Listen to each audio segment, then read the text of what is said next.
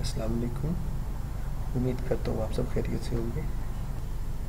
First मई 2018 labours day के मौके पे खुशखबरी सिंगल लोगों के लिए, जो चाहते हैं कि उनको अच्छा रिश्ता मिल जाए तो वो इस एप्लीकेशन से फ़ायदा उठा सकते हैं।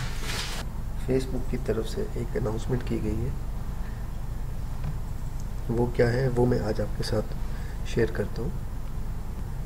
फेसबुक के ओनर ने अनाउंस किया है कि वो बहुत जल्द एक नई ऐप को लॉन्च करने जा रहे हैं, जिसके बारे में उन्होंने डिटेल में बताया है, लेकिन मैं आपको मुख्तर बताऊँगा। जिसका नाम है डेटिंग तो उन सिंगल लोगों के लिए जिनको रिश्ते दरकार होंगे, वो लोग जो फेसबुक यूज़ करते हैं, उनको इसी फेसबुक के अंदर एक नई ऐप जो है वो ऐड कर दी जाएगी, जिसका नाम होगा डेटिंग तो वो वहाँ जाके एक बिल्कुल सेपरेट सी अपनी प्रोफ़ाइल बनाएँगे।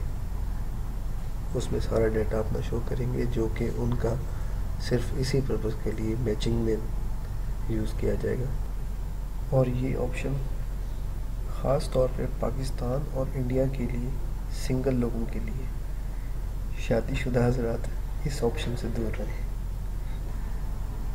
जैसे ही ये ऐप लॉन्च होगी तो मैं आपको उसके बारे में बताऊँगा कि कब लॉन्च हुई है और उसका यूज़ कैसे है।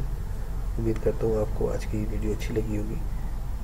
वीडियो अच्छी लगी हो तो लाइक करें कमेंट्स करें और चैनल को सब्सक्राइब करें।